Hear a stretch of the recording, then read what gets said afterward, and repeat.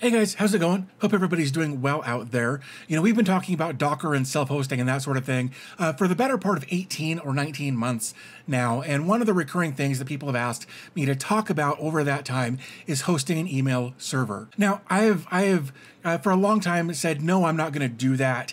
Uh, there, there, it's very complicated. There's lots of little bits and pieces and that sort of thing. And uh, I, I, still hold all of those uh, sentiments to be true. Uh, the hosting an email uh, server can be complicated for a lot of reasons. Um, but here recently, I started looking at a, uh, a new self-hosted uh, dashboard system that I wanted to take a look at. And one of the things uh, that's part of that is uh, email. Now that's uh, having a, an internal email server for the purposes of this platform, but also uh, allowing you to host your own email server uh, for your domain name and things like that. So here we are on my desktop, and this is uh, Unohost or why Unohost. I'm not sure, but uh, it's it's a fairly popular platform that I've seen come up over and over and over again when I've been talking or looking up how to host different things. Uh, this is one of those tools that just kept coming up, and it's it's actually got a lot of potential. I think if we go into applications. Uh, and we'll give this a second to load. Here are some of the applications I've tried installing. I've had good luck with some of them, some bad luck with some others, but I'm still learning the platform and that sort of thing. Now, what I the, the, the reason I'm, I'm even bringing these two things together is because there is a tool in here uh, that will kind of give us a little bit of information as far as setting up certain things, including an email server. If we come back over to here and we go over to diagnosis, right here. So now, right now, it's going to go through all of these uh, things that it needs to make sure that everything is up and running correctly. And uh, we're going to find a couple of issues like related to DNS here, uh, a couple of issues with ports being exposed. Uh, that that looks good as far as it's concerned there. Uh, but when this comes up, we'll give it another second or two here. Okay, so here are the results. And the first one, uh, I'm not going to open this up because it's got my IP address in it. And I'm trying to expose my IP address as little as possible, uh, both for security reasons and even uh, I'm going to edit it in post. But it's a lot to remember to go back and edit and fix, that sort of thing. Uh, this is just having a fit because uh, I've put uh, Cloudflare's DNS proxy in place. So it's having a fit with that. I could fix that later, but I'm not going to. The next thing here is some DNS records uh, that it needs to have put in place uh, with regards to an MX record, an A record, expected values, that sort of thing. This is this is wrong, and I can fix that in Cloudflare as well. Um, it's got these two are. Uh, missing or incorrect, uh, even though I've gone through this whole process here and uh, I've copied and pasted everything that they've given me into the records for Cloudflare. There are still some things that are that are wrong. So DNS is a huge part of uh, the email setup process. And if one little thing goes wrong in that process, or or if something is configured incorrectly during that process, um, it will it will render your email undeliverable or unreceivable. Uh, so that's just one aspect to take into consideration. Is DNS really can be complicated to set this kind of thing up, especially I can't I can't stress this, especially if you've got a dynamic a dynamic IP address. Um, if you've got a dynamic IP address, it complicates things even more uh, setting up this DNS stuff. But wait, there's more. So if we come down, next thing here says your domain's not going to register anytime soon. It shouldn't. It's registered for a year. Um, we can get down here into ports. Ports are another thing that your server will need to have uh, for mail and that sort of thing. Now, not all, not all of this is mail related, but some of them are, and, and specifically port 25. Now, port 25 is, is a typical port for used used for SMTP. Um, the thing is, a lot of ISPs block that port.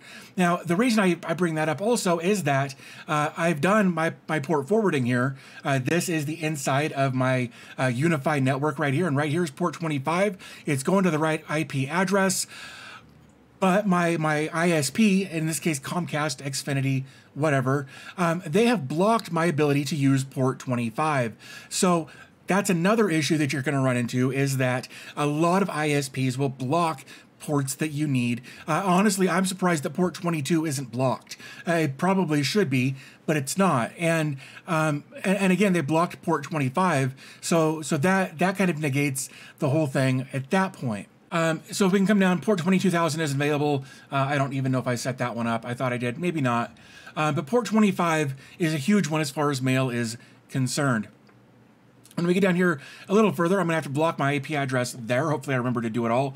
Um, but basically, uh, all of this has to do with the fact that um, the the DNS. I don't have all of the right DNS records in there because there's a lot of stuff to put in there, and I'm sure if I were to spend more time with it, uh, I could go through that process. The problem is that uh, every time you set up a, a mail an email server, your DNS records are going to be very similar, but you're going to have some things that are going to change, and you have to know which of those things are going to change. Um, but again, if your ISP uh, changes your IP address regularly, that complicates things. And if your ISP blocks any of the necessary ports, that complicates things and make it makes it much more difficult, if not impossible, to host your own email server. Now, if we scroll down a little further, I guess I guess that's pretty much everything there. However, oh, right here.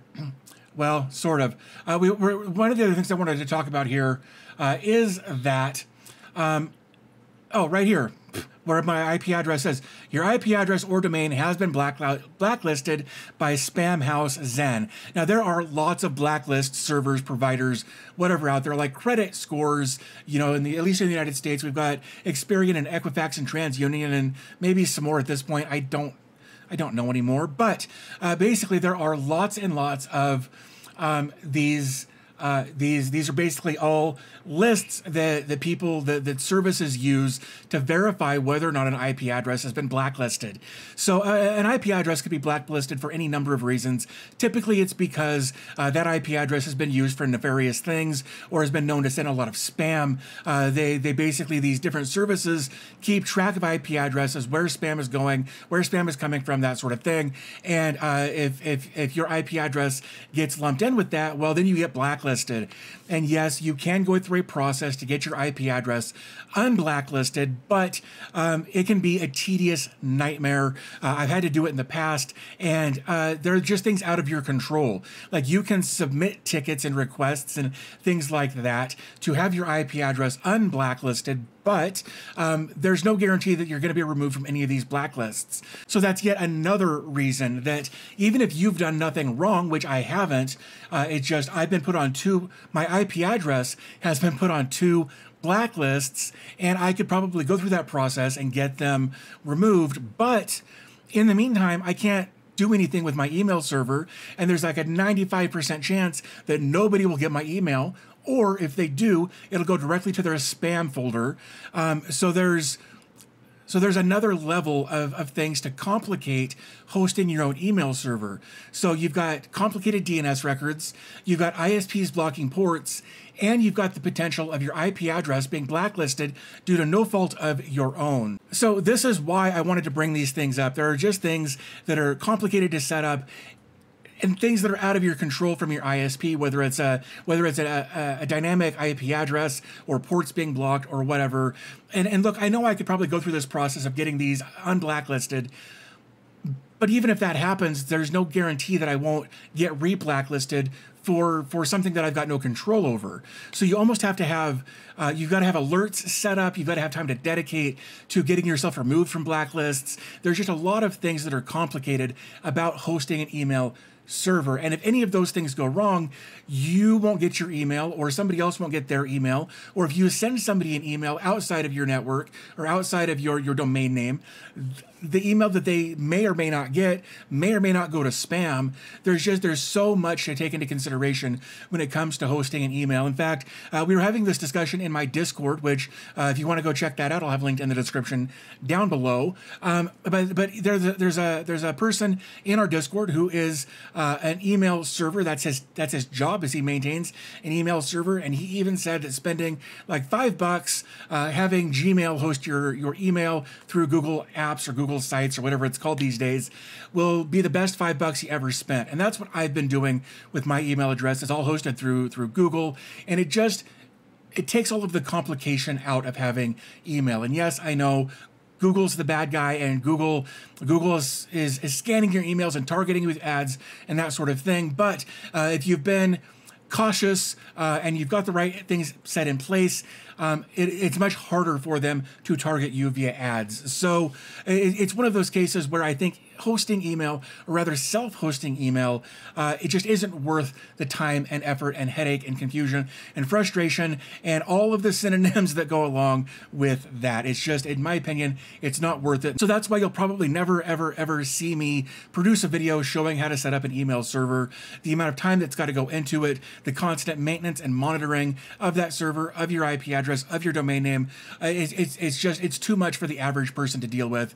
And, and I really do feel like it's a better option to have your email hosted by somebody or an organization or, or something that, that that's what they do. They host email. And I think that that's, uh, that's one of those times where self-hosting just isn't the answer. And, and I'm catching myself rambling here. So, uh, self-hosting email bad, paying someone to host email good, uh, complicated setup, constant maintenance, not worth it. So uh, that's just kind of my take on email and self-hosting it. So hopefully, uh, if you've got questions, I'd, I'd love to answer those questions. Uh, maybe we can start a dialogue in the in the comment section down below about maybe maybe you've got different ideas or a different thought on it. I'd love to hear it. Um, but with all that being said, I'm going to go ahead and wrap up this video. So as always, thanks for your time. I always appreciate your support, and I'll talk to you in the next video.